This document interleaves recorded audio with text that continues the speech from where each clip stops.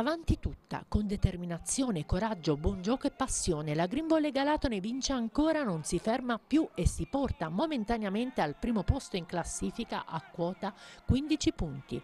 Altri punti fondamentali per il morale e per la classifica dei Salentini nel girone H del campionato maschile di volley di B ancora in trasferta dopo il successo ottenuto a Leverano. La partita contro Bolle a Fragola è stata difficile, lunga e sofferta per i ragazzi di coach Tonino Cavalera che hanno vinto con i seguenti parziali 25 a 22, 20 a 25, 23 a 25 e 18 a 25. Dunque Galatone ha vinto per 1 a 3, mettendo a terra i palloni utili per volare alto. Ben 15 punti in 6 gare, una media da primato, ma adesso bisogna archiviare la gara di ieri per preparare al meglio l'atteso big match casalingo di domenica prossima a Tuglie, con il Grottaglie. Scontro diretto questo per lottare per il primo posto assoluto in campionato e le premesse per fare bene ci sono tutte.